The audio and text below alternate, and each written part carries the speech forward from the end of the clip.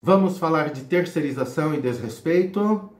Sou dirigente sindical do nosso sindicato e funcionário do Banco Santander, lotado no SAC, que é o Serviço de Apoio ao Consumidor, no Vila Santander Paulista.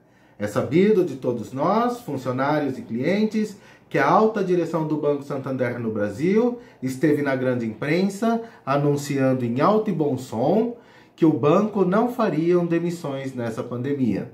Ora, não é isso que acontece no call center de São Paulo e do Rio de Janeiro. Cabe lembrar que os serviços prestados pelo Vila e Conexão são feitos por bancários que atendem às solicitações dos clientes sobre conta corrente, cartões, seguros e tantos outros serviços. O banco terceiriza esses serviços com uma retórica que vai criar empregos na cidade de Novo Hamburgo, no Rio Grande do Sul. Não são empregos que o banco está criando na cidade de Novo Hamburgo.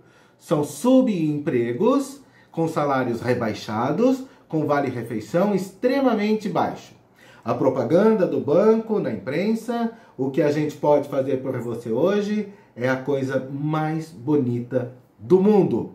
Mas, na realidade, o Banco Santander desrespeita o seu principal cliente, que são seus funcionários que são os verdadeiros protagonistas do maior lucro mundial deste banco, inclusive na pandemia.